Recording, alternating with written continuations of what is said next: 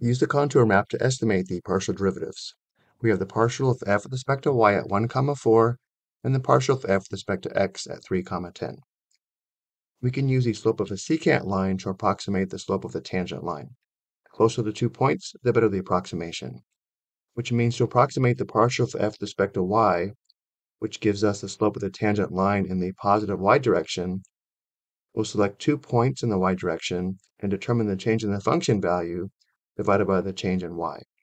And to estimate the partial of f with respect to x, we'll select two points in the x direction and determine the change in the function value divided by the change in x.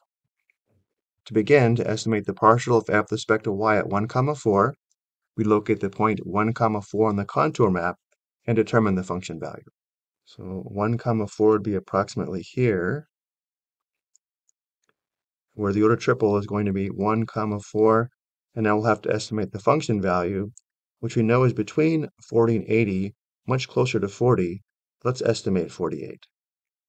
And now we need to select a second point close to this one, so the secant line will be in the y direction. Let's use this point here. Notice the secant line would be in the y direction. The order triple is 1, comma.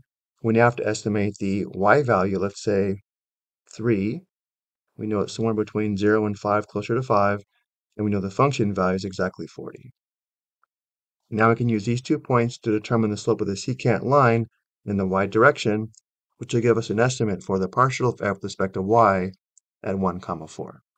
The partial of f with respect to y at 1 comma 4 is approximately equal to the change in the function value divided by the change in y using our two points close together in the y direction the change in the function value is 48 minus 40. And the change in y is 4 minus 3. Simplifying, we have 8.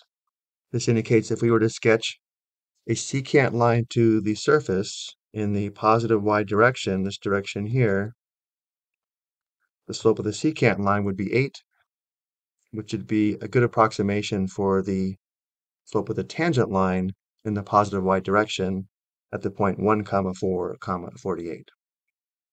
And now estimate the partial of f with respect to x at the point 3 comma 10.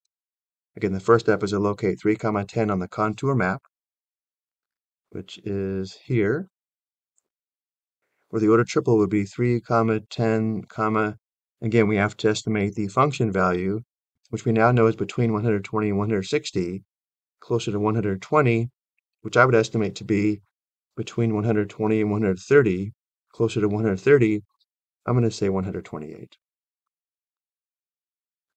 And now we need to select a second point now in the x direction that's fairly close. Let's say this point here. And now we'll find the order triple. For this point, here we have to estimate x. x is between 2 and 3. I'm going to say 2.7 y is 10, and we know the function value is exactly 120. And now we'll estimate the partial f with respect to x by determining the change in the function value divided by the change in x. The change in the function value is 128 minus 120. And the change in x is 3 minus 2.7.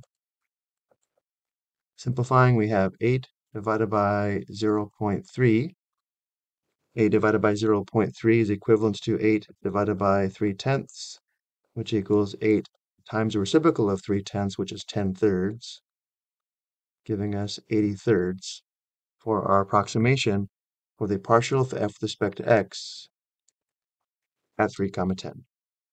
So we just found the slope of the secant line in the positive x direction, which we're using as an estimate for the slope of the tangent line at the point 3 comma 10 comma 128. I hope you found this helpful.